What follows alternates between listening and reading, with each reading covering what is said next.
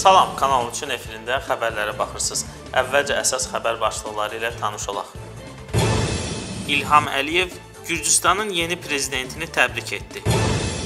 Atası Rüfət Səfərova edilən vəhşiliklərdən yazdı. Apellyasiya məhkəməsi jurnalisti həbsdə saxladı.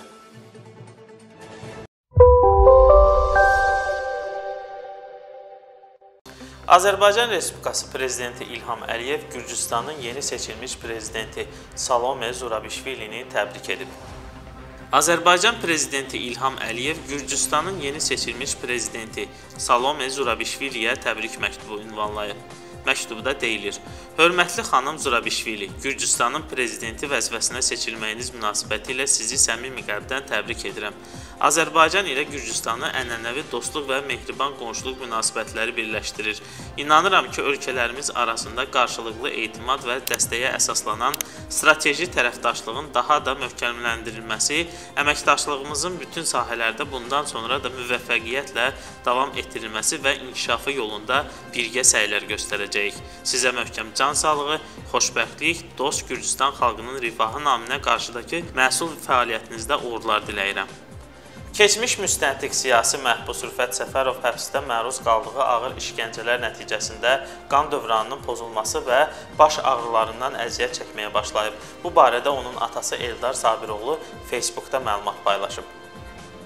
Keçmiş müstəntiq siyasi məhbus Rüfət Səfərov həbsdə məruz qaldığı ağır işgəncələr nəticəsində qan dövranının pozulması və baş ağrılarından əziyyət çəkməyə başlayıb.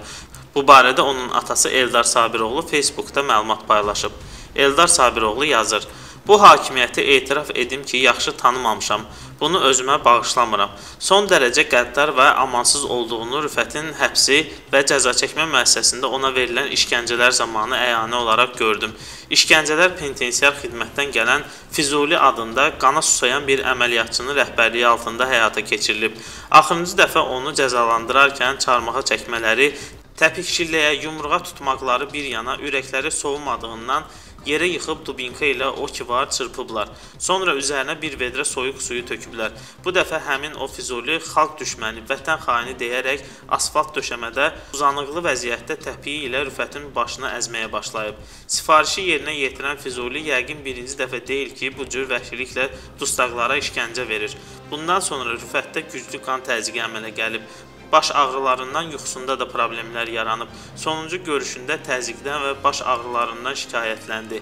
Füzulidə günah görmürəm. Onu yaxşı qəssab olduğuna görə saxlayırlar. Əsas göstərişin hardan və kim tərəfindən gəldiyi diqqət çəkir. Bu da məlumdur. Prezidentə sədaqəti bu cür başa düşənlər işdən sonra evlərinə gedəndə öz övladlarına yaxşı-yaxşı baxsınlar. Axı bu dünyanın quyruğu uzundur. Bakı Apellyasiya Məhkəməsində noyabrın 30-da jurnalist Əfqan Sadıqlının 1 aylıq inzibati həbs qərarından verilən şikayətə baxılıb. Məhkəmə əvvəlki qərarı qüvvədə saxlayıb. Bakı Apellyasiya Məhkəməsində noyabrın 30-da Azəl TV saytının təsisçisi və baş redaktoru Əfqan Sadıqlının 1 aylıq inzibati həbs qərarından verilən şikayətə baxılıb. Əfqan Sadıqlı noyabrın 27-sində həbs edilib. O, prezident administrasiyasının qarşısında səs-küy salıb qaydaları pozmaqda ittiham edilərək İnzibati Xətalar Məcəlləsinin 531.1 maddəsi ilə 1 ay müddətinə həbs olunub. Apellyasiya Məhkəməsinin hakimi Mirzəli Abbasovun sədrliyi ilə keçirilən məhkəmədə jurnalistin vəkili 2 vəsadət vəsatət qaldırıb. Noyabrın 27-sində Əfqan Sadıqlı həbs olunduğu zaman prezident administrasiyasının ətrafında videokameraların qeydə aldığı görüntülərin alınıb onlara baxış keçirilməsi, həmin vaxt prezident administrasiya qarşısında şəhid ailələri etiraz aksiyasını keçirərkən çəkiliş aparmaq, materiallar hazırlamaq məqsədi ilə orada olan jurnalistlərin dindirilməsi olub.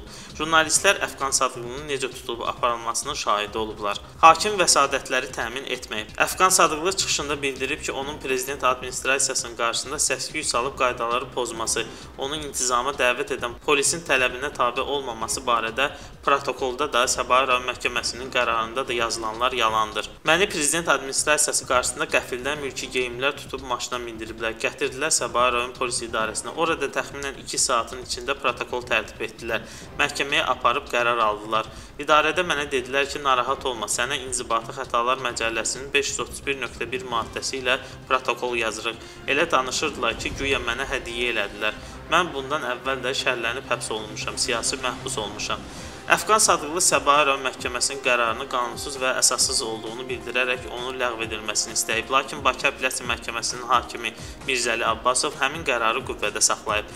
Əfqan Sadıqlı bildirib ki, bundan öncəki həbsləri ilə əlaqədar Avropa Məhkəməsinin icraatında 3 şikayəti var. Bu dəfəki həbs qərarından da daha bir şikayət göndərəcək.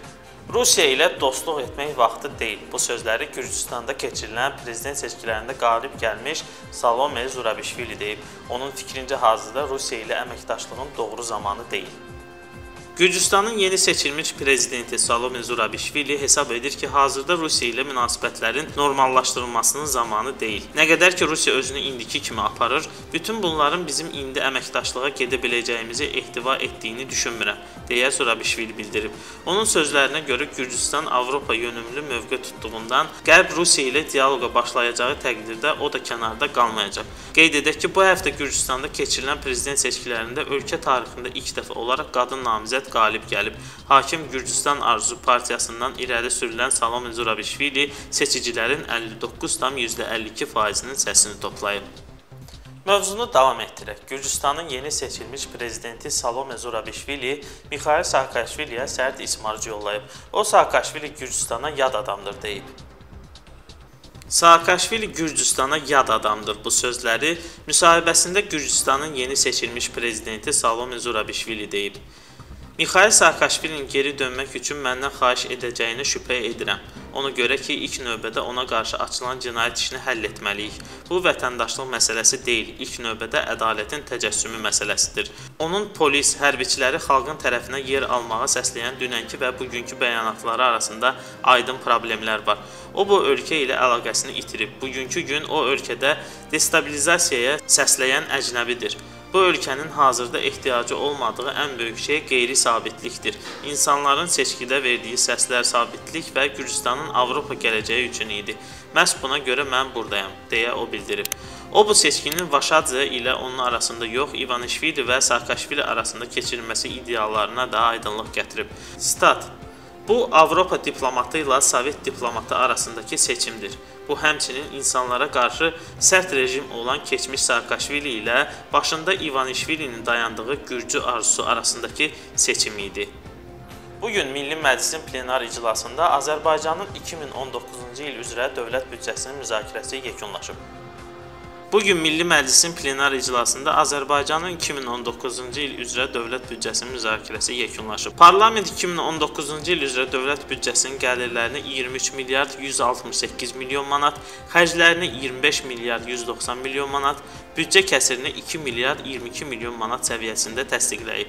2019-cu il dövlət büdcəsinin gəlirləri üzrə proqnozun 7316 milyon manatı, Vergilər Nazirliyinin xətti ilə daxil olmaların 11364,3 milyon manatı, Azərbaycan Respublikası Dövlət Neft Fondundan transferlərin 3702,5 Onda 6 milyon manatı Dövlət Gömrük Komitəsinin xətti ilə daxil olmaların 785,6 milyon manatı isə digər gəlirlərin payına düşür.